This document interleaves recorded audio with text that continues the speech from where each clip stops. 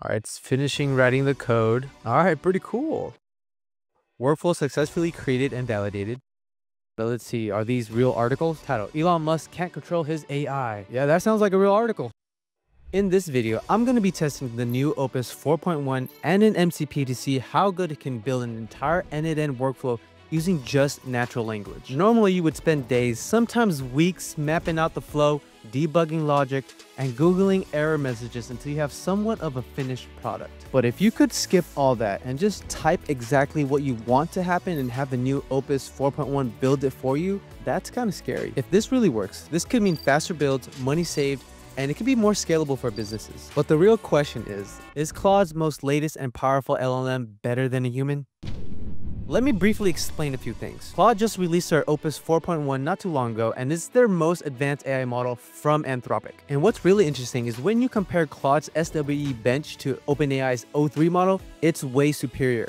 And if you don't know what SWE Bench is, it's a benchmark designed to evaluate a large language model's ability to handle software engineering tasks like coding. N8N is a tool I'm very familiar with and use for my own business and for my clients to help them automate their tasks by connecting different apps and services like Gmail, Notion, OpenAI, just to name a few. And the most important part, I do it without needing to know how to code. A message control protocol or MCP serves as a bridge between N8N's workflow automation platform and AI models.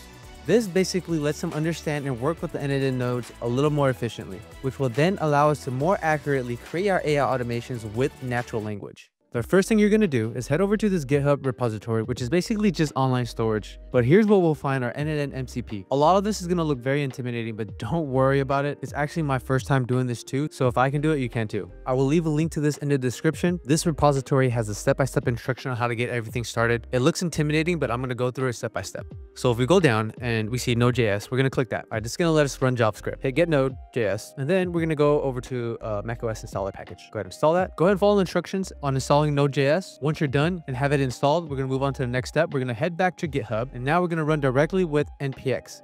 Basically what that means is we're going to copy this link. Go ahead and copy it. Type in command space, type in terminal, paste that there, hit enter. And your version should be up to date. You can say here 22.18. That's the one we want. Now we're going to download the most basic version of Claude onto our desktop. I'm just going to go with the cheapest plan. I don't think you need the pro plan or anything like that. So we're going to go over to Quick Claude go to settings, and you can only do this through the desktop app. We're going to hover down to developer, edit config.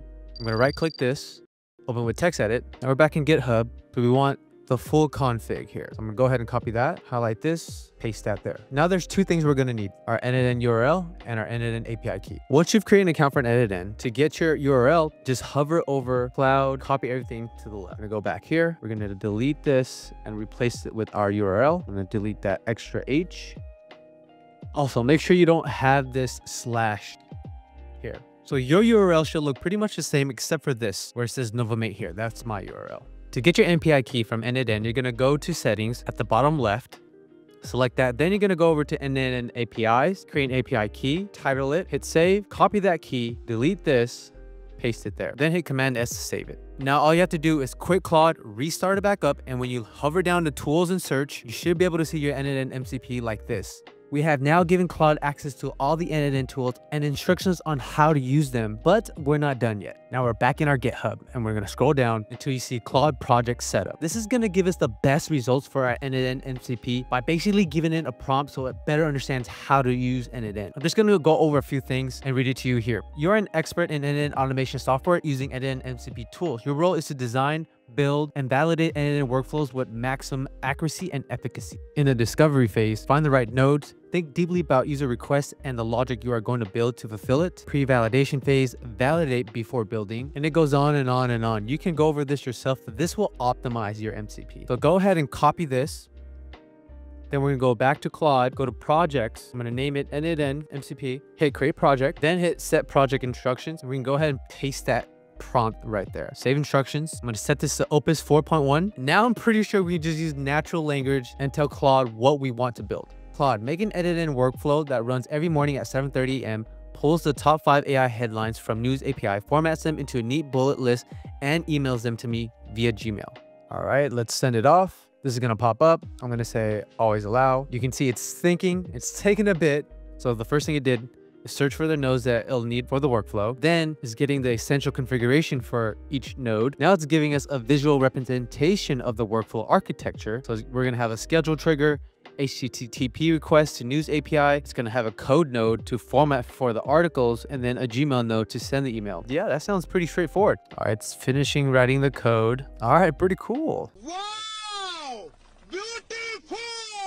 Let's see. So now it's validating the complete workflow. All right, something interesting just happened. It says, I need to fix some connection errors. Let me update the workflow with proper node name. And it's fixing it and it's validating again. It's already been a couple minutes, so this is actually taking a little bit, but again, I'm not doing any of the work. Workflow successfully created and validated. I'm gonna go ahead and download this JSON. All right, let's import it. Damn, we're in trouble.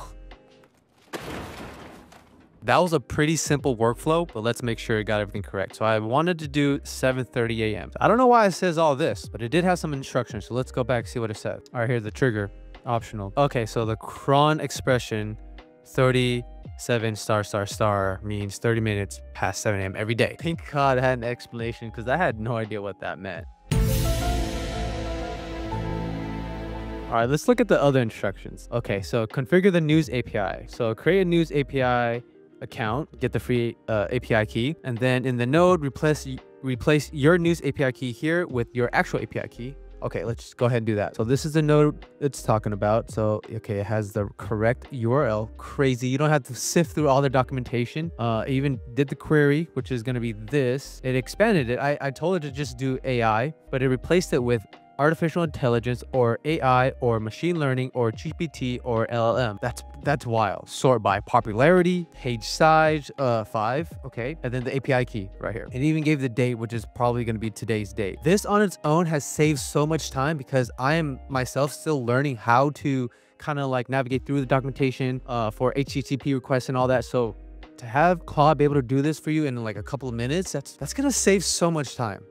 All right, I just grabbed my API key from News API, pasted it. Uh, let's see what's next. Actually, let's test this. All right. Yep. Pulled the data. Pulled all the data. Let's see. Are these real articles? Title. Elon Musk can't control his AI. Yeah, that sounds like a real article. GPT-5. Cool. This is really cool. All right, this code node. I have no idea what any of this means. All right, let's see if there's any anything we need to do. Go back. Um, no, nothing. Let's just execute it. See what it does. Oh, okay. Maybe it's just meant to make it look pretty. Yeah. It just filtered out all the junk and now we have an um email html email text. Maybe this is a like a really nice format. We'll see. I don't know how to read it but uh let's move on. And i'm pretty sure all we have to do is connect our email. Wow. I'm really impressed to be honest. Like this is my first time doing this by the way. What?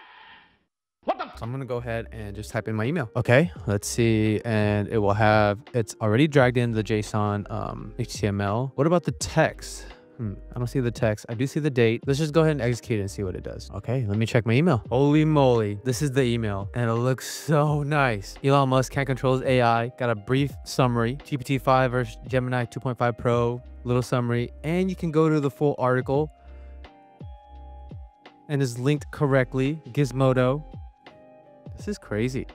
So whether you have an AI agency or you have your own business and you're still learning how to build these automations, this is a really efficient way to kind of just try a bunch of different workflows to see if they work because it's so much faster. You can build 10 different workflows in the amount of time you would build one workflow manually. And I know the example that I used was really simple. So if you build a more complex workflow, it's still going to save you a lot of time. You may have to go through it to make sure everything's done correctly. But as you can see, what it's able to do is pretty dang crazy. Now check out this video if you want to see how to build a full web app using only natural language connected to your end-to-end workflow and start charging people to use it.